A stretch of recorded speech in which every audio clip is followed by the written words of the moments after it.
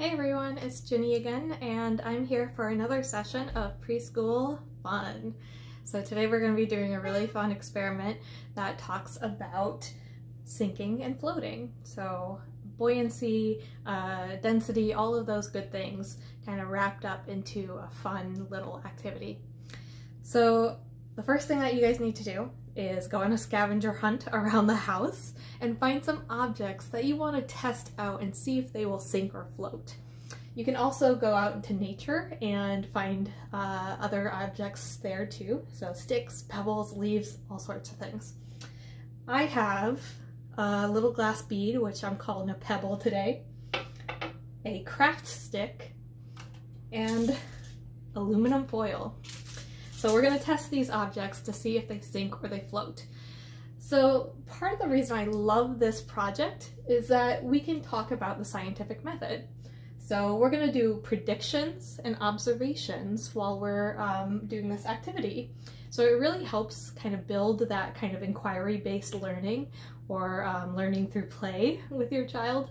Um, and it's a lot of fun in the in the meantime.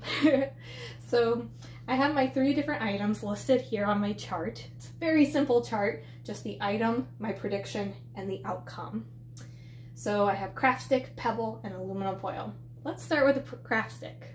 What do we think will happen when we put this craft stick in the water?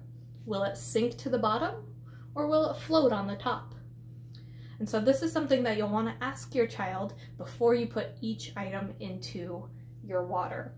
And the water can be in a little bowl like this, container, or you can do it outside if it's warm enough that day, or inside in the bathtub. so for my craft stick, I'm gonna make the prediction that, hmm, it floats. So I'm just gonna put a smiley face next to it to say that it floats. Um, but you guys can write out whatever you'd like. So let's drop it in. You guys ready? Can you see it there? There it is. It's floating on the top. So, what was our outcome? We are right. So I'm going to put yay. All right, next we have our pebble. What do you think? Will the pebble sink or will it float? Hmm. I'm gonna guess that it sinks. I'll put a frowny face there for you. All right, let's see what happens. Oh, you could hear that basically. Just knock on the bottom. There it is. All the way at the bottom. So our outcome was correct. We were right. Okay, aluminum foil.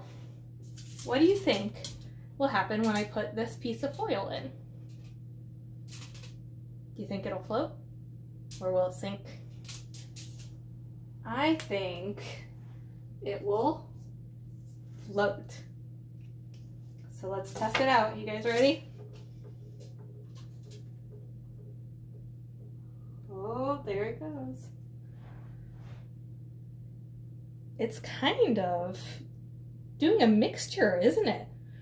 It's kind of suspended there um, in the middle. Maybe it'll slowly sink. So what do we put for our outcome on that? Hmm. I'm gonna put undecided. Which means we might want to test even further. So I have another piece of foil here. And if we change the look of it, do you think that will matter? Let's try. Let's crumple it up and see what happens when we put it in. Okay.